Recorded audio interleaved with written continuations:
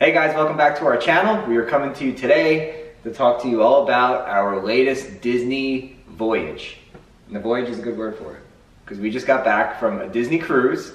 It was the first Disney cruise we ever went on. Um, we got back about two weeks ago. Yeah. Um, yeah, so let's tell them about it. So we went on a four-night Bahamian cruise out of Port Canaveral to Nassau and Castaway Cay Yep. on the Disney Dream, and it was so much fun. It was awesome, and I, I might even go as far to say that the Disney Cruise Line might have been the best Disney experience we've ever had. And we've gone to the the parks. I can't even tell you how many times. Yeah. We've been to Disneyland, Disney World, obviously, numerous times. Um, we never went to any of the international parks or yet. but not yet. but we have gone to World a a million times and Land uh, a couple of times, and we're actually going to Disneyland again in August. So looking forward to that. But this was our first trip on the Disney Cruise Line, and it was, like I said, it might be the best Disney experience we've ever had. And this was Matt's first cruise. I've been on other cruises before. I've been on two Royal Caribbean cruises, and those are great as well, but nothing compares to Disney service, and we'll get more into that too. Yeah, and I, I also might say that I don't know if I ever want to go on another cruise line Yeah. outside of that. And I was a little hesitant with cruising at first because I've never been on a boat that big for that long. So I didn't know how I was going to react to it. I don't know if I was going to get like seasick or whatever because you hear stories about that. But I loved it. We didn't really feel the boat moving all that much. I know that could vary from cruise to cruise. Yeah, and the weather, of course. But Yeah. I've been on, like I said, the two Royal Caribbean cruises, and I felt the boat moving way more on those than Disney. And I don't know if it's because we just had really nice weather Yeah. when we went on the Disney cruise, but sometimes we like looked out and we didn't even realize we were moving until we saw that we were moving. Yeah. That's how smooth it was.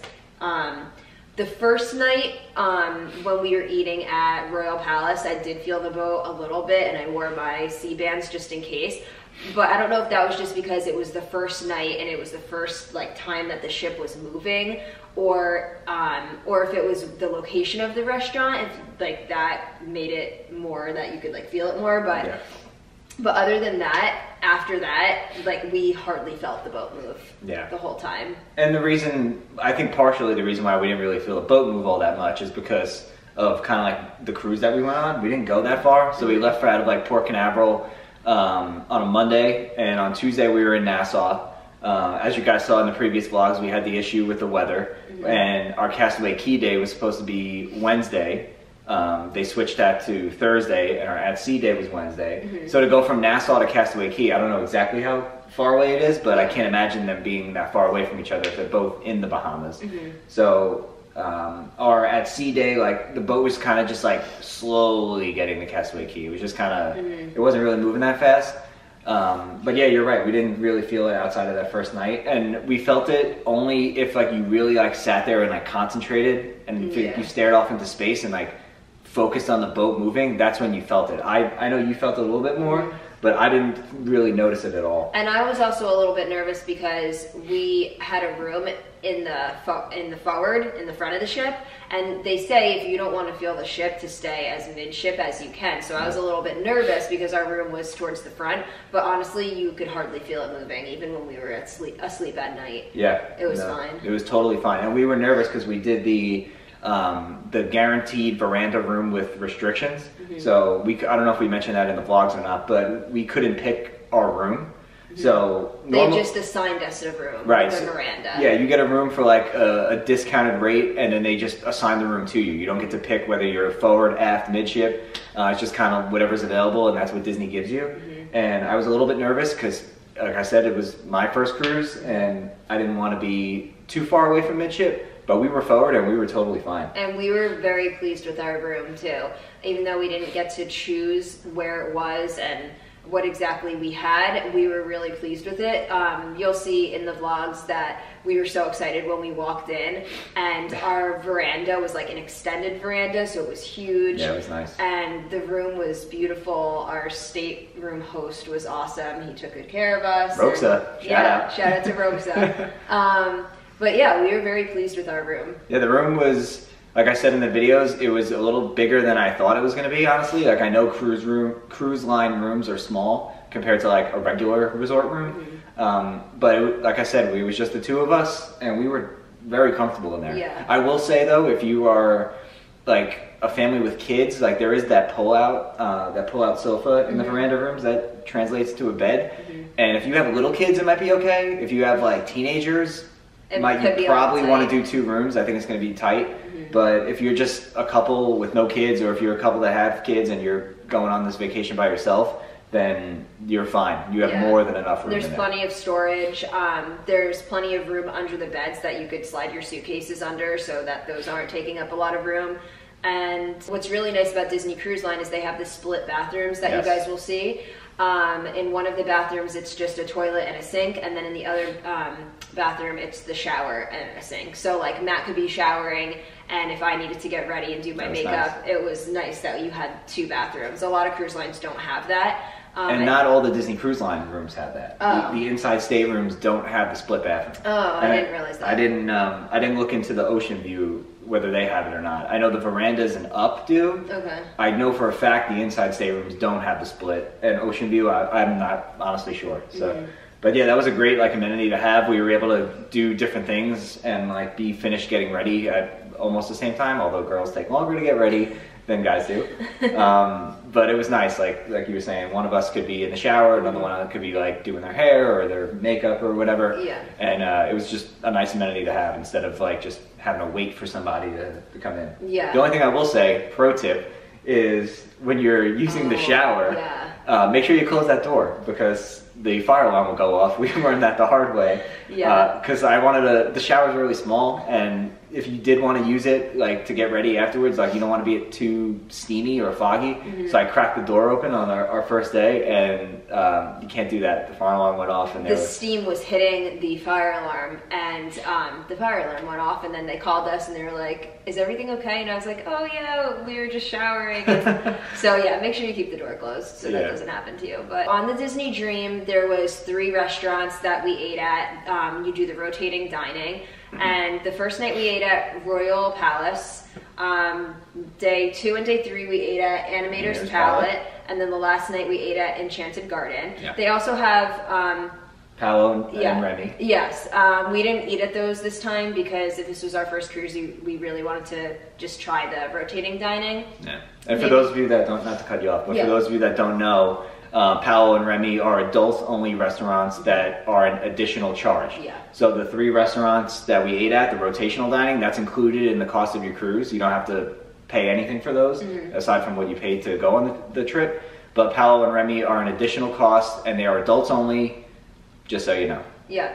Um, the rotating dining, how it works is there's main seating and there's second seating. We chose to do second seating because usually there's less kids at that time. Yeah. Um, but uh, I think the second seating was 8:15. Eight fifteen. Yep. Main seating was I think like five forty five. Yeah, five forty-five or six. But we ate at eight fifteen every night, um, and it was great. Like you said, less kids. That's always a plus. Not that there was no kids, because there were definitely kids. Yeah. There. But if you have younger kids, you're going to want to go to the early dinner. You're going to want to go to the early show because they're going to naturally go to bed earlier. Yeah. Um, but we enjoyed the second seating. It was it was great. Uh, Yeah. We'll tell you guys about the the restaurants we ate at too. Mhm. Uh, But how it works is um, when you when you board the ship, they give you a key to the world card, and on it it tells you what location you'll be eating at each night because it it rotates. So the first night we ate at Royal Palace, but um, there could have been people eating at Animator's Palette the first night. Yeah. So that's how it works. Um, so the first night we ate at Royal Palace and we met our servers,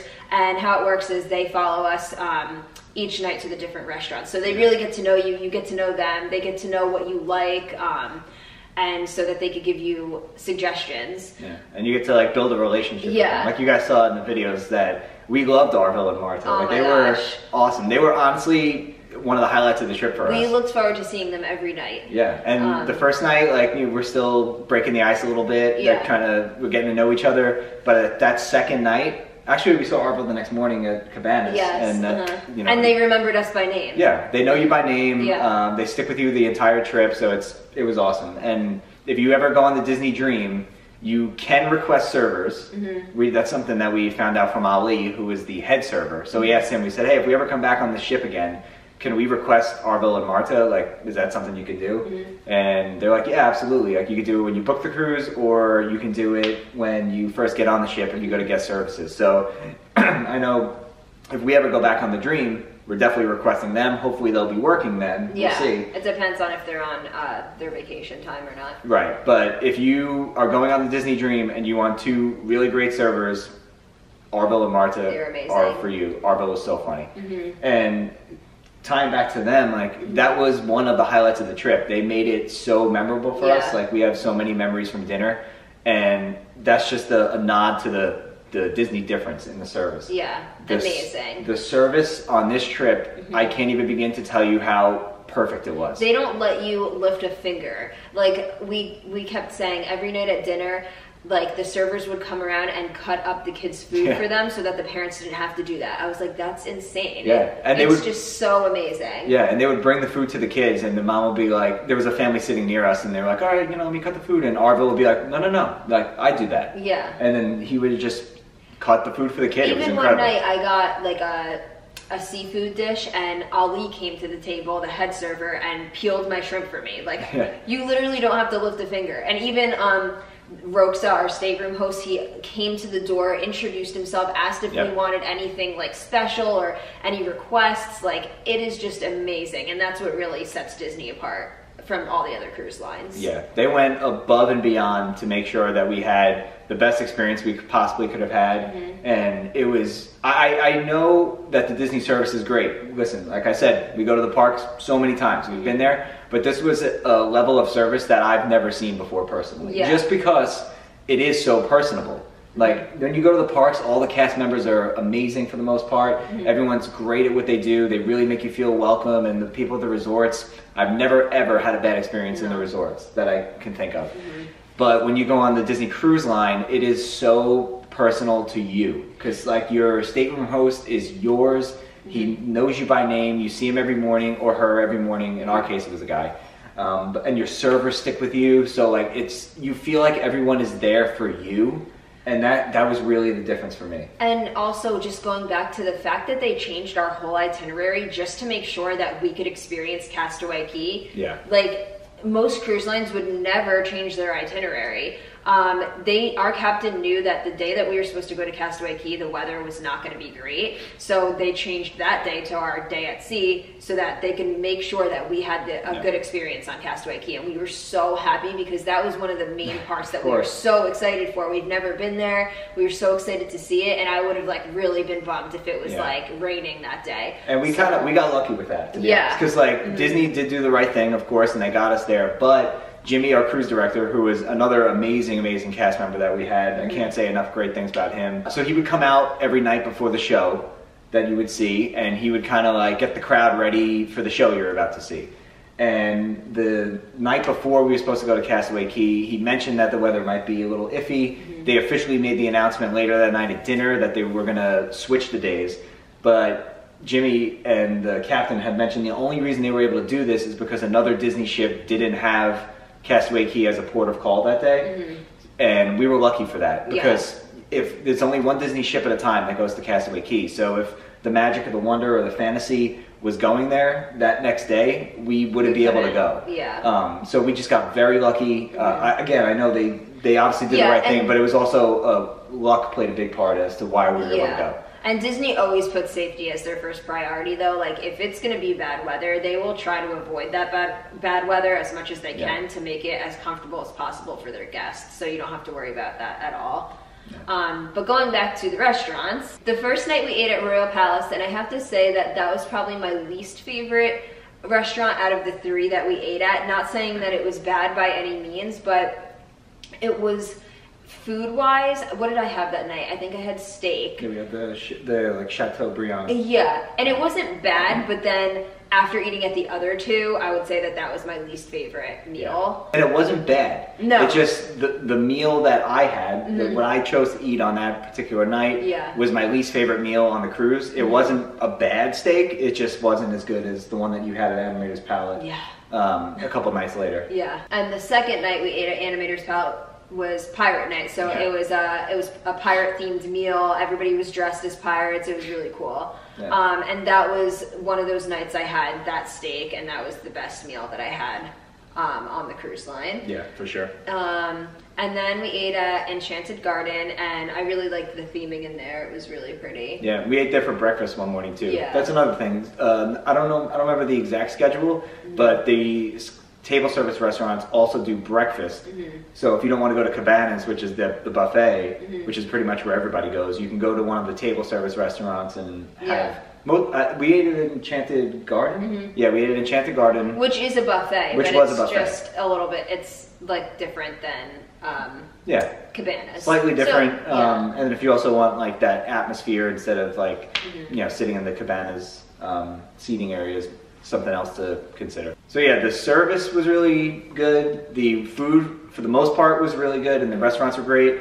Um, now we'll talk about the entertainment on the ship, which was plentiful. yeah, um, to it say the least. amazing. The the shows that we saw each and every night were awesome in the Walt Disney Theater. We saw um, the Golden Mickeys, uh, Believe, and Beauty and the Beast, and hands down the best show out of those three was Beauty and the Beast. That Mm-hmm. was incredible. I wish we were able to record in there to show you guys some clips. Yeah. But if you have a chance somehow to find some footage from that show, it was amazing, amazing. It Don't totally miss blew the us away. shows when you go, and they sh- they show the um, the shows uh, two different times each night. So if you're going to the main seating, you would watch the show afterwards. But every night we saw the show first and then went to dinner. Right. So there's two different times that you could see it, and don't miss it because the shows are outstanding. So good, like Broadway caliber shows. Yeah. They were incredible. All three of them were great.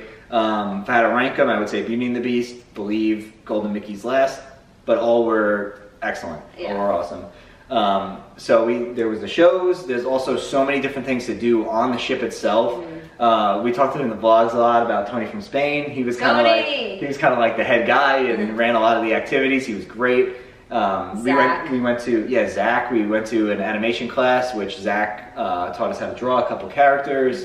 Um, we went to a couple trivia's. We went to like a Family Feud style uh, event. It was just literally something to do for everybody. Karaoke Yeah. and bingo. bingo. There was just so many activities. yeah, and bingo. They have like big jackpots for Yeah. bingos. One day was a they had a five thousand dollar jackpot for bingo. Another day they had a ten thousand dollar jackpot. Yeah. It was it was crazy. And that's one thing that the Disney Cruise Lines don't have. There's no casino on board.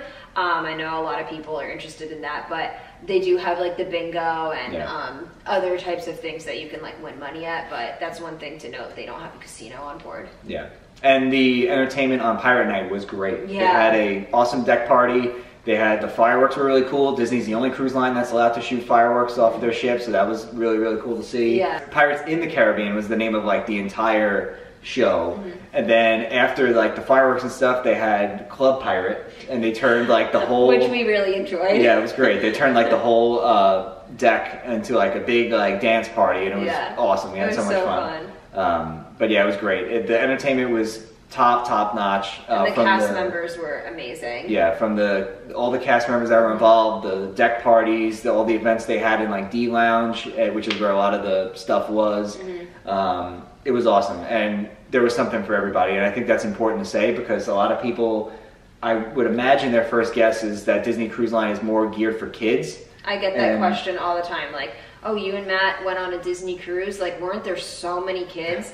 And the answer is Yes. yes. There are a lot of kids, but it honestly didn't bother us. And there's there's things to do for every age. Like Yeah. the navigator that you get that tells you um, all the activities throughout the day, it literally goes by age. So it'll say like adults only, um, all ages. Then it'll do like kids from 10 to 13 or Yeah, they break it down to breaks every it age. down um, and there's adult only pools there's adult only hot tubs there was an adult only beach on castaway cay um, the adult only restaurants that matt Yeah. talked about before so it really like it didn't bother us Yeah, if you wanted to keep your interaction with kids to an absolute minimum, you could. there are ways to do The, it the adults only pool was really really awesome, and there was Mm-hmm. again adults only, no kids.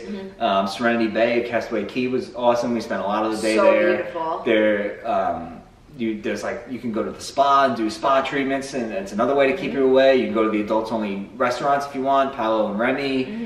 Mm-hmm. Uh, there was a lot, a lot of things. They had entertainment at night, which was in like some of the lounges, and they weren't like anyone could have really went to those. But Yeah. they, a lot of the more adult themed things like karaoke, um, some of those adult like trivia, Mm-hmm. Trivia. games, they would be like later on at night, like 10, 11 o'clock. So most kids are sleeping by that point. Mm-hmm. Yeah. So you got to do some activities like that. It was just, I was impressed with the amount of stuff they had for Yeah.